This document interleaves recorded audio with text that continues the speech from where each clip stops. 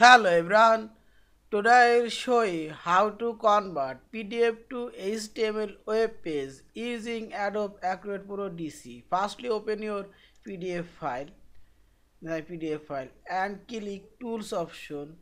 Here you will find this export PDF option. Click here and select here HTML web page.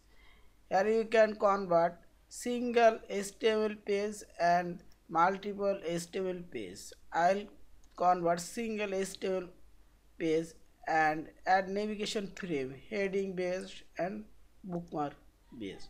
Now click export option. Choose folder. Convert.